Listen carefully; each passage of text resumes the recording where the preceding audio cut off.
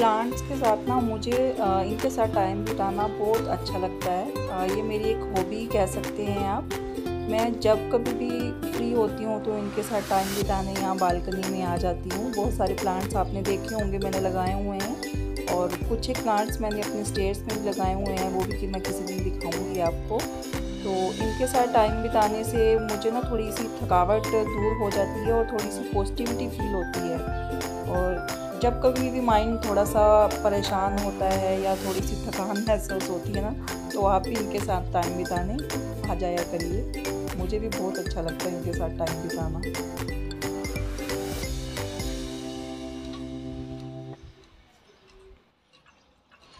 नमस्ते friends welcome to my new blogs मैं हूँ अलका, कैसे हैं आप? मैं ठीक हूँ। आज मैं आपके लिए एक अपनी सेकंड न्यू वीडियो लेके आई हूँ। आई होप आपने मेरी फ़र्स्ट वीडियो भी एंजॉय की होगी। जैसा सपोर्ट आपने मुझे फ़र्स्ट वीडियो के लिए दिया प्लीज़ वैसा ही आप मुझे सपोर्ट कीजिए और मुझे ज़्यादा से ज़्यादा सब्सक्राइब कीजिए लाइक कीजिए। तो चलिए आज का ब्लॉग शुरू करते हैं। आज मैं आपको येलो येलो सब कुछ दिखा रही हूँ। जैसा आपको पता है, आज थर्सडे है।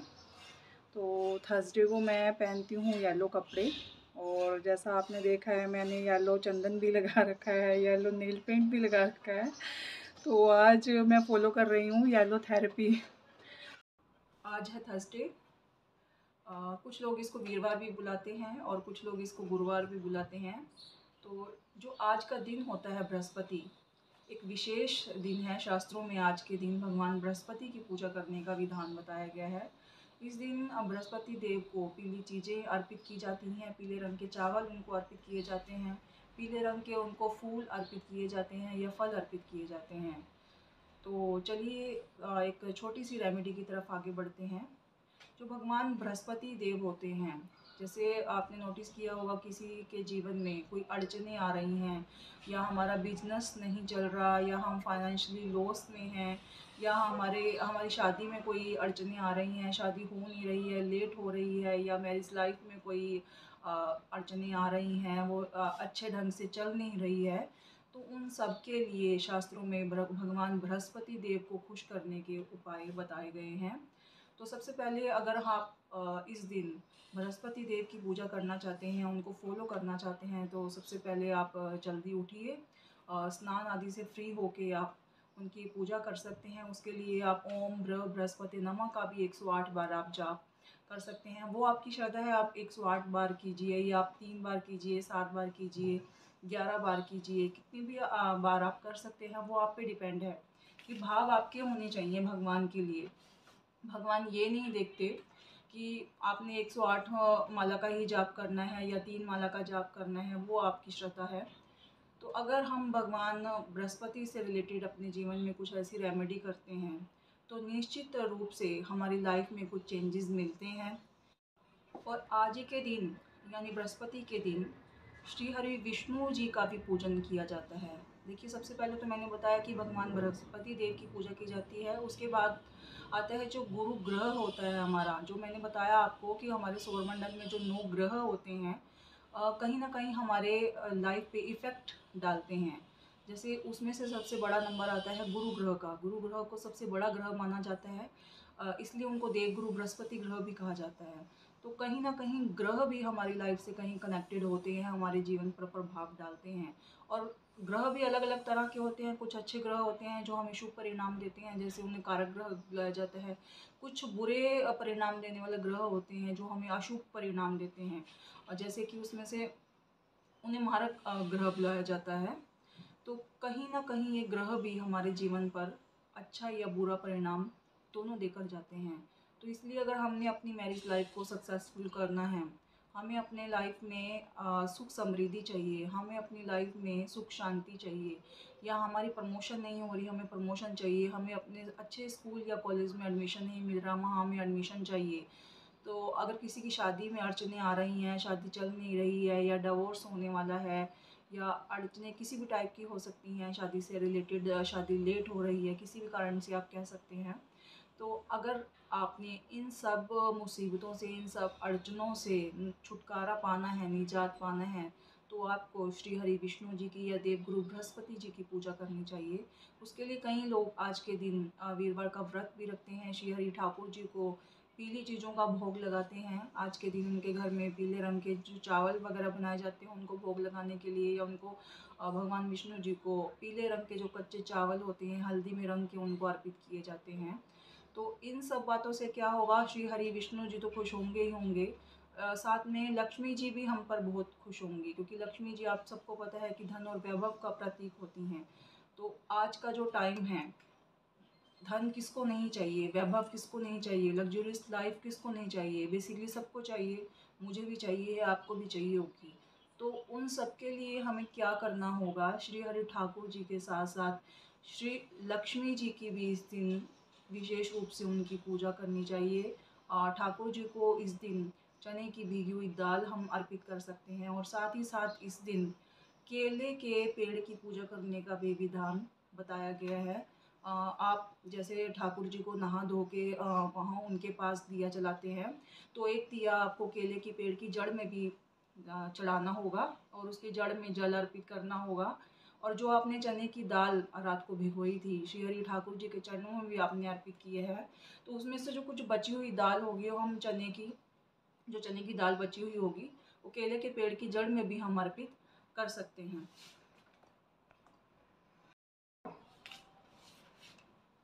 और इसके साथ साथ हम अपने नहाने के पानी में, जो हम एवरीडे हम जिस वाटर से हम स्नान करते हैं तो आप रोज़ हल्दी के पानी से स्नान कीजिए। जैसे मैंने भी अपने वॉशरूम में एक हल्दी की छोटी सी डिब्बी बना के रखी हुई है तो मैं रोज़ नहाने से पहले एक चुटकी लेके उस पानी में डाल देती हूँ। तो आप जो गुरु ग्रह को प्रसन्न करना चाहते हैं, श्री हरि विष्णु जी को प्रसन्न करना चाहते हैं तो एक छोटी सी रेमेडी है कि आप अपने नहाने के पानी में हल्दी की एक चुटकी डालिए उस पानी से आप स्नान कीजिए। या आप श्री हरि विष्णु जी को जो पीले रंग का चंदन आप लगाते हैं, वही उनके चरणों से आप चंदन लेके अपने माथे पे लगा सकते हैं। जैसे आपने देखा होगा कि मैं भी डेली ठाकुर जी को चंदन जो उनके, उनको अर्पित करती हूँ, और वही चंदन मैं थोड़ा सा अपने माथे पे भी लगाती हूँ। इससे क्या होगा कि जो हमारी कुंडली में गुरु ग्रह होता है, जो हमारी ख़राब दशा में बैठे होते हैं वो, कहीं ना कहीं उनको बल मिलना शुरू होता है, वो स्ट्रोंग होने की स्थिति में आ जाते हैं। यानी कि उनको पॉजिटिव एक एनर्जी मिलनी शुरू हो जाती है हमारी इस एक्टिविटी से, जो हम डेली बेसिस पे उनको स्ट्रॉन्ग करने के लिए उनको एक्टिव करते हैं, उनको चार्ज करते हैं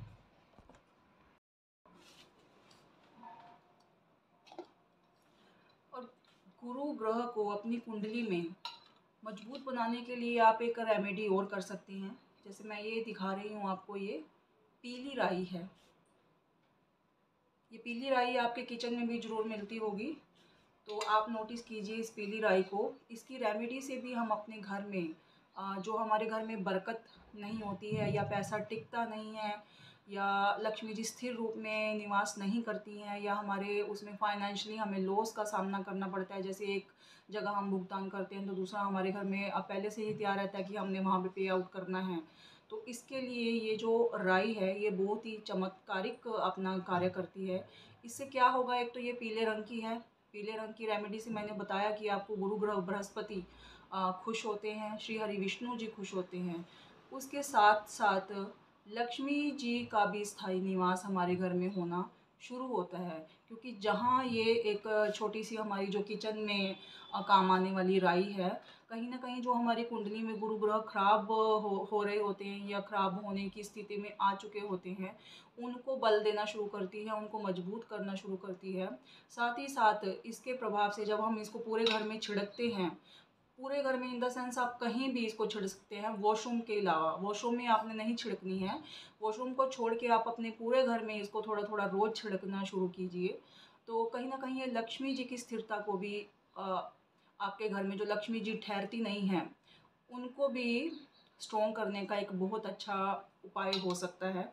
इस मैं इसका यूज़ करना बता देती हूँ किस तरह से इसको यूज़ करेंगे। मैंने ये थोड़े सी राई अपने हाथ में ली है।